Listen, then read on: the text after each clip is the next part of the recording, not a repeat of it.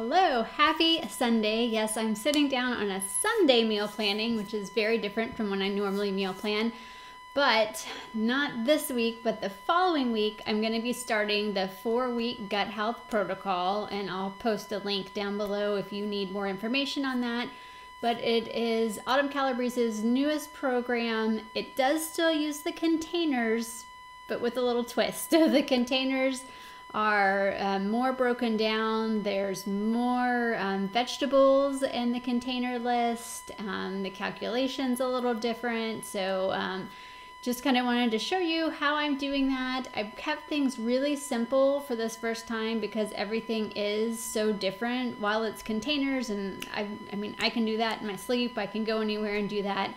Now the proteins and the carbs have A and B and there's extra veggies. So I like to place to start. Um, in the beginning, I know Autumn, she isn't a meal planner, which is fine. Everybody's different. You may be watching this and being like, why, why is she planning out these meals? And yes, I plan out my meals, I print them out, I know all the groceries I need to get. But Autumn's style is she picks some protein, she picks some veggies, she picks some carbs, and then eats them throughout the week. I mentally, I like to know like, oh, I've had a meal instead of I've just had some random food. Like a recipe denotes a meal to me, and so I like to have a meal and plan and all that good stuff. So for my brain, this is how I'm attacking it, and I've kept it really simple this week. Um, I'm just going to, let me go ahead and share my screen. So she did put out some sample meal plans, so I did start with those. And um, I kind of start how I normally start. So I pulled up one of my old, my last meal plan I used, I pulled that up and then I kind of entered the containers um, as uh, as I normally do. I still went through and put down the dates, anything we have going on for the week. But what I did is I actually just chose. Um, I made two blocks, so I made I guess like a block A and a block B, and I'm just gonna rotate them the first week. Um, as I get more familiar with the containers and the recipes, I'm thinking the next week I'll be able to do more. But, um, and so this isn't next week's meal plan. This is for Sunday the 4th, as you can see. So this is a week after next. But the reason I'm going ahead and doing it now is because I have a work conference that I'm going to be um, downtown for Tuesday, Wednesday, and Thursday. Wednesday's usually my planning day, and I knew that this one was going to be a little bit more difficult, and I didn't want to feel like I was really far behind. If I'm not getting home till Thursday night, then I can't meal plan till Friday, and then ah, so this is what it's all about: planning ahead. I know I have that going on. I know I'm starting this program on the 4th, and I know I want to be prepared. So I'm taking today to prepare ahead of time and um, go through that. So, what I did is if you are um, a member, if you purchase the four week gut health protocol, when you go into your Beachbody On Demand, you will see the four week gut health protocol. It has all the lessons, it's got different videos to walk you through it.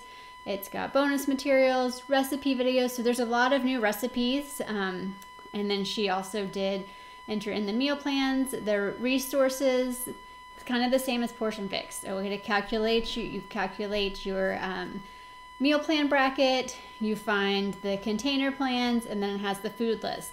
The food lists are a little bit different because we're cutting out some different things that might affect your gut health.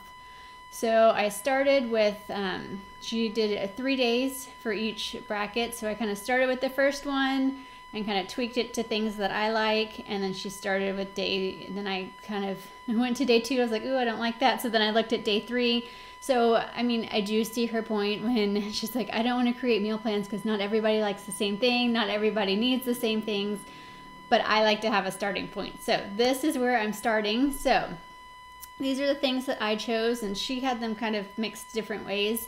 Um, this is not like time nutrition or 80 Day Obsession where you have to pair certain containers up and eat them at certain times. This is just kind of like um, Portion Fix. I can never remember what I always want to call it free form Portion Fix, where you're just eating and pairing the containers as you like to. But like I said, I like a starting point and then I can move things around. So um, I'm going to start my day with my Shakeology. The difference in the four week gut health protocol is that you should be choosing the vegan Shakeology. So one of the things you're taking out is dairy. the whey-based um, Shakeology, and for that matter, whey-based protein powders, they contain dairy, so you want to avoid those. Um, so I think I got a bag of cookies and cream, and then I also have um, some strawberry. Vegan strawberry is my go-to, so those are the ones that I'll be using. And then um, her plan had rice cauliflower. I don't typically like that. I do have some, so I might mix it in here and there, but spinach in my shake I'm okay with. And then a half a banana. And then turkey sausage, oatmeal, and this one I'm not too sure about. the broccoli um, for breakfast. There are just certain things that I I can stomach for breakfast. I'm gonna try it. I know she eats sauteed broccoli all the time for breakfast, so I'll give it a try. I do know that variety is a big deal in the gut health plan as well. I think you're supposed to try to get like 30 different plants in each week, so I didn't want to do spinach and spinach, although I think I do that the next day. Um, so I'll try it and see, and then we can go from there. Um, the next one, she had like a tofu with sauteed mushrooms, zucchini, and onions, which I love sauteed mushrooms, zucchini, and onions. I'm not that big on tofu, so I went to the red B list and chose um, something else. So you can look up the food list there. Um, she had like a fruit of your choice with pumpkin seeds and cashews for a snack. Sounds like a great snack to me. And then the Fixate chicken piccata, which was something that I wanted to make anyway. So um, I have that. And then with asparagus, I love that as well. And then sweet potato fries. That sounds like an amazing meal.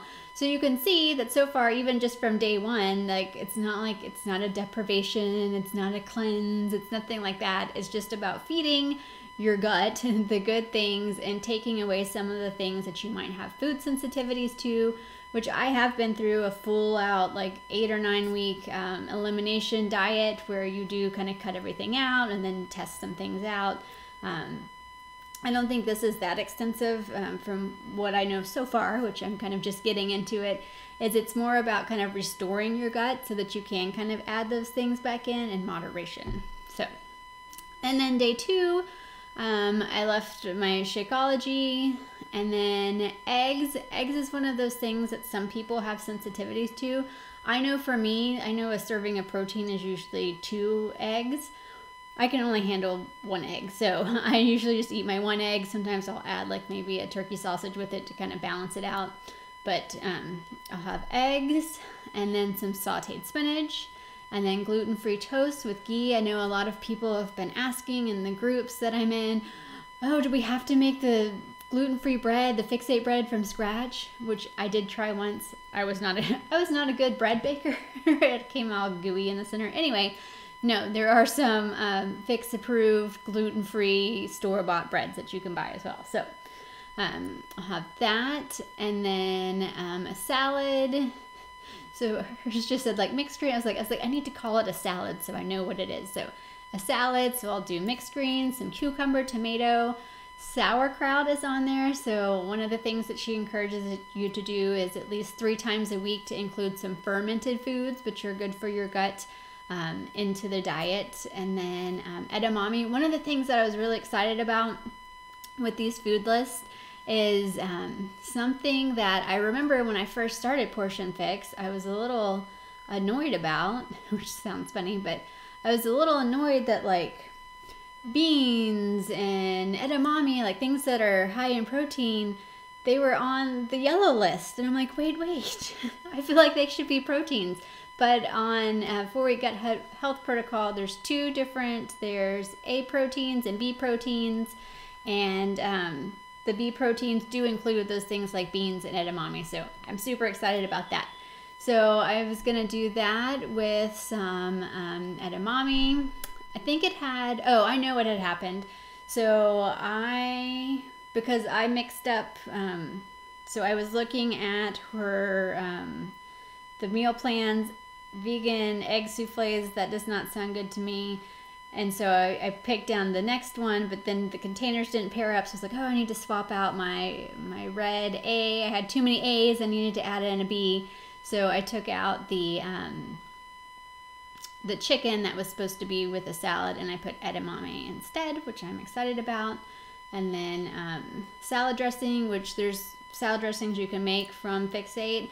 And also on the call I was just on, I heard that you could do um, all the Primal Kitchens, those salad dressings and ketchups and all those kind of condiments are approved. And then an old favorite, carrots, grapes, and hummus for my afternoon snack. And then for dinner, the Fixate must have meatloaf, which is the Fixate recipe, and broccoli. So I just took that, and then so after, since I kind of followed the meal plan that was put out there, but then I made some tweaks, then I went through and I did the container counts. It's like, okay, I need six, two, three, four, five, six, count my greens, count my red A's, count my red B's, count my carbs, and all of that. So went through just to kind of count to make sure I had my containers right. It actually wasn't too hard, um, but just kind of learning and trying to wrap my brain. Um, it's the same thing I kind of do. The, the last meal plan I had was a carb cycling one, where I just kind of keep it simple, alternate things, so that's really easy. Um, so that's what I'm going to do for the first week of the gut health protocol. I'm really looking forward to it. And if you have any questions or need help getting started, please feel free to reach out to me.